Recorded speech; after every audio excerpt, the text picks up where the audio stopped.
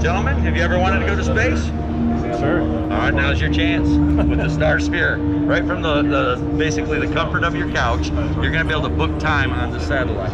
We launched the satellite on Tuesday. It's going up there in about two to three months. We'll establish the communications with it, and you'll be able to book time the satellite and then be able to create a picture or a small time-elapse video, and you'll own the copyright to that. So if you ever wanted to go to space without having the opportunity, you will now. So it's basically at starsphere.sony.com. That's the website.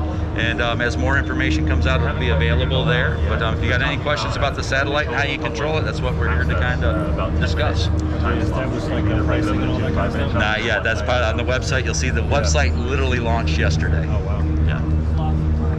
And do you know how many people can book it? Or anything Uh, one person, one person or one group at a time, because only one person can control the satellite. So depending on longitude, latitude, where you're at, when you want it, if you're the first one to pay for it, you're, you got It goes up there for Two years. Two years. Two years. These are your windows. So after two years, it runs out of the propellant, and then it'll actually descend and burn up in the atmosphere and re-entry.